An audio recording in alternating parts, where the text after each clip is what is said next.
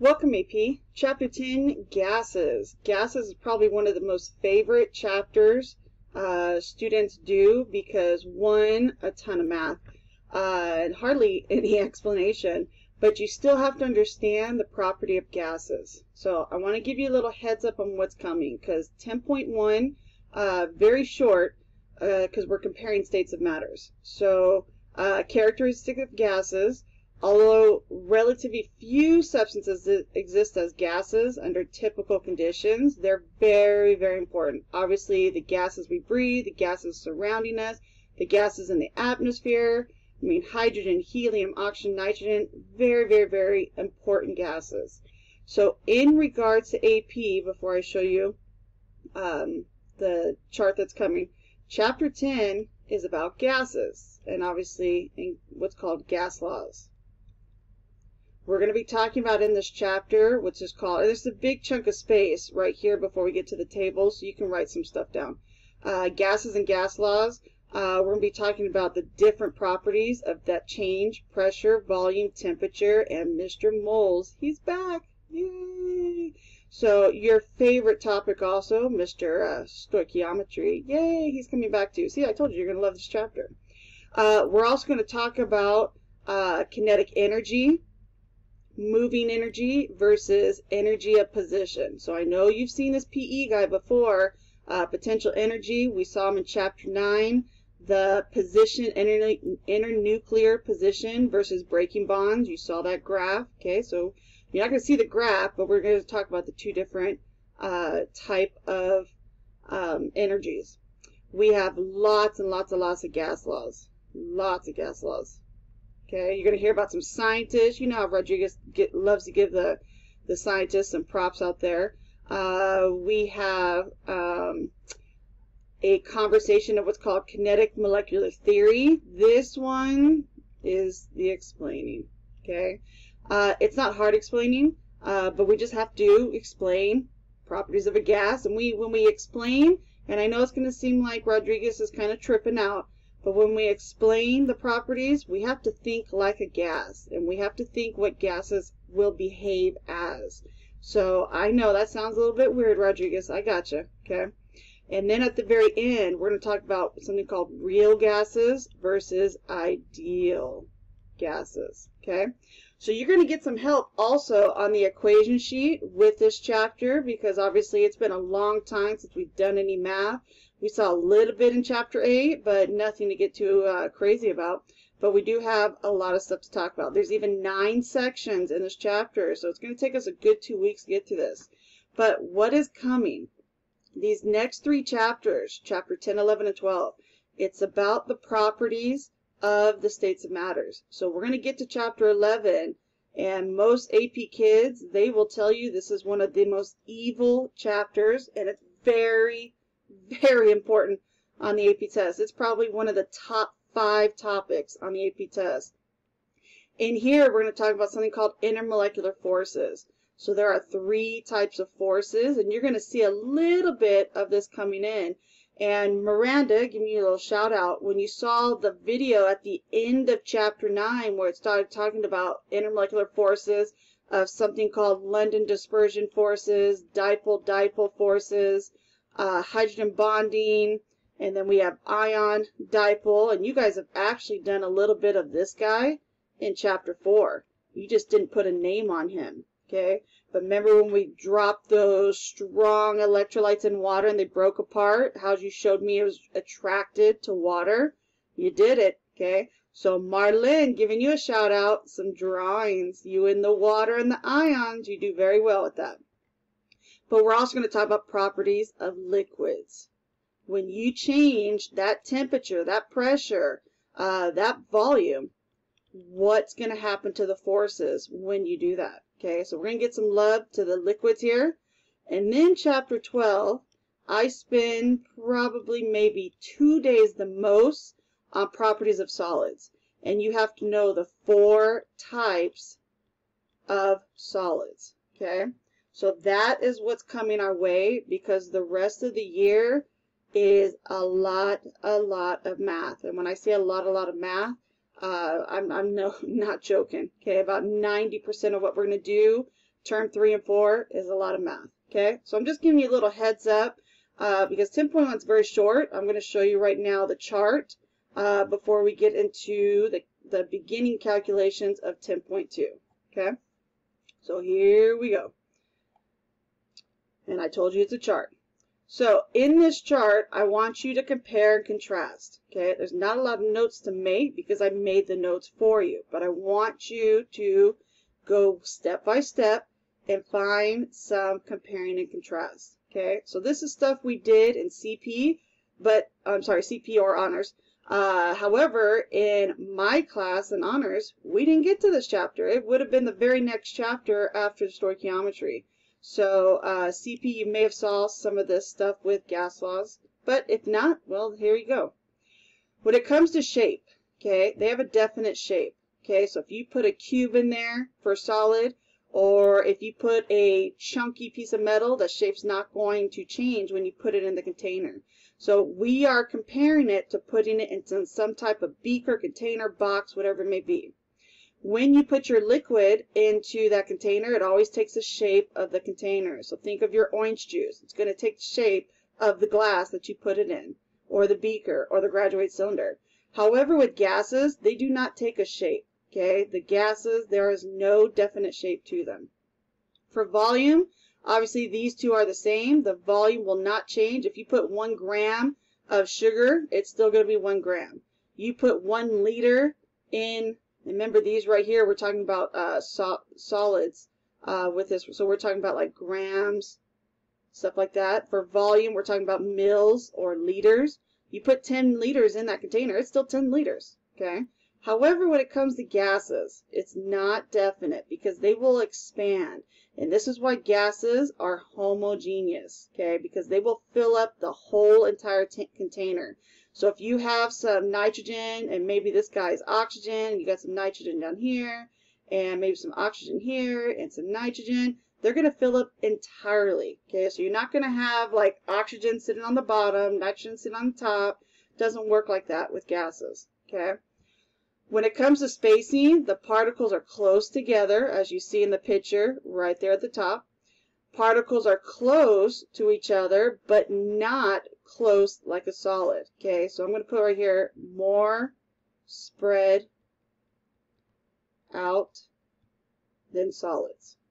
Okay, and a lot of this is review. It, it needs to be a lot of review back from chapter 1 and 2.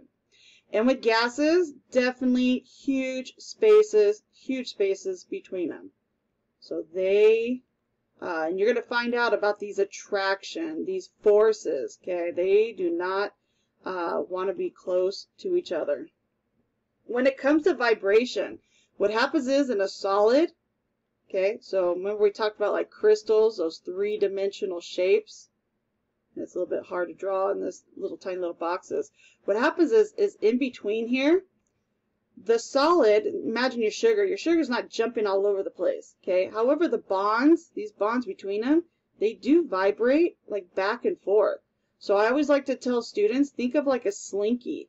If you actually had a slinky in front of you and it just went back and forth, back and forth, back and forth, it that's literally what the bonds are doing. But your sugar is not jumping from the kitchen to the living room to the bathroom. That's not what solids do. And if it does, that's some freaky sugar. So only you get the vibration of the bonds. Diffusion, you're going to hear about this word diffusion when you get to about 10.6 in this chapter uh, does not flow. So your sugar does not flow from one location to the other, okay? With the liquid, you have constant moving. What they do is they slide past each other. So with those liquids, you're going to get these guys that just slide and then they slide and they go back and forth, and that's why they call flow.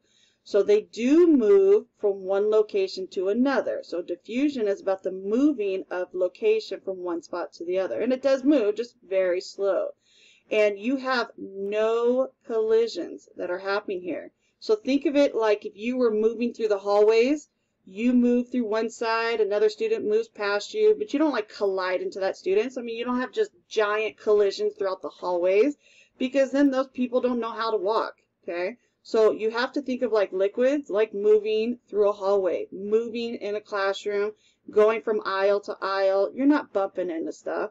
Okay, you're just moving, so there is no collisions.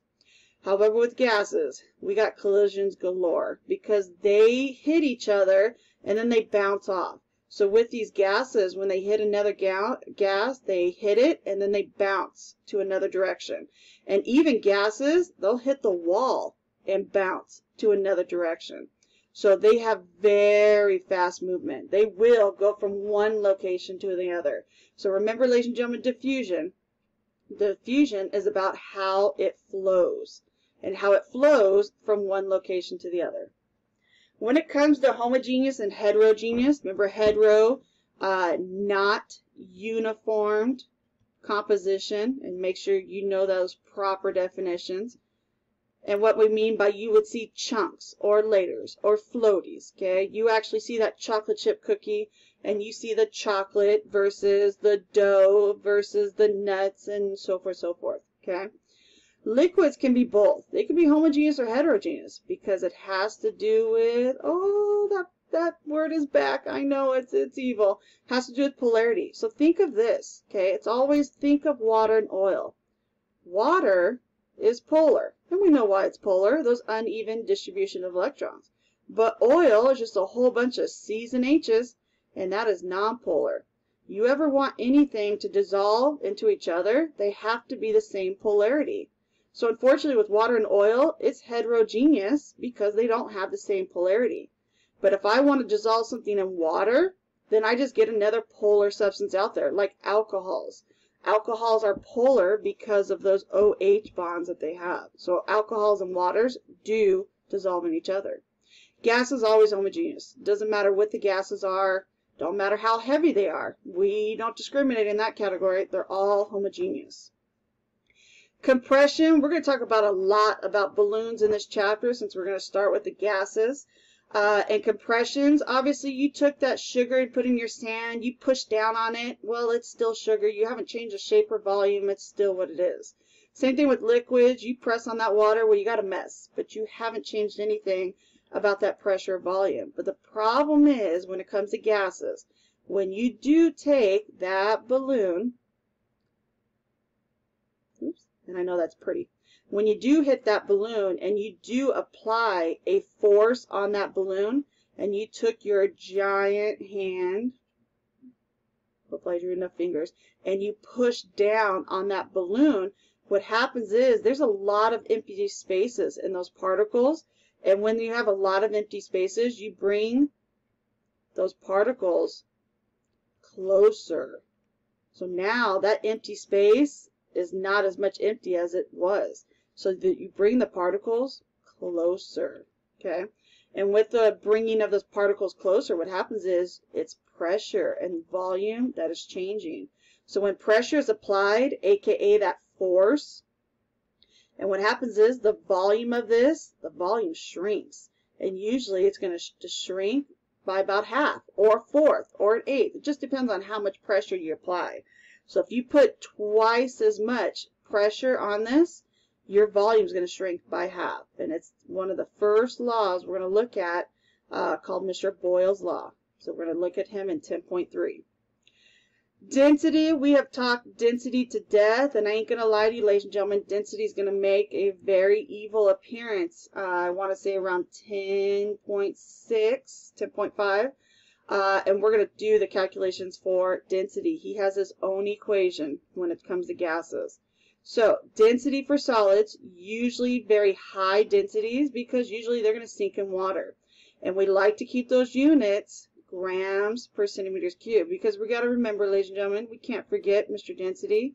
We got that mass over volume, and the mass will always be grams.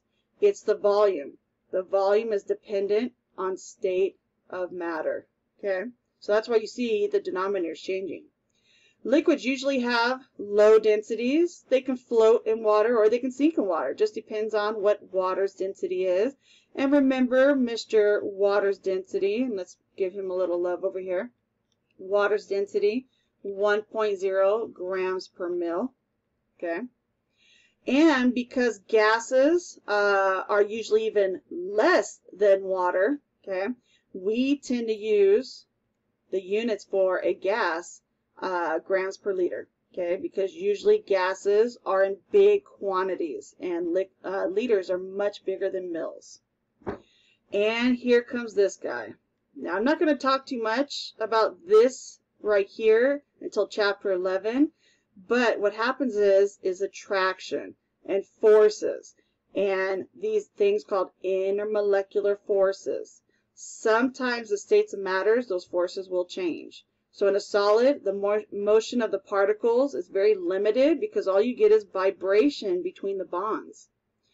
However, when it comes to liquids, and like I said, this is where the chapter 11 is going to come in, we're going to talk about how liquids change in boiling point, vapor pressure, that's what VP is, viscosity, surface tension, and that's all related to those three forces, okay? And I'm, like I said, I'll get more into that chapter 11.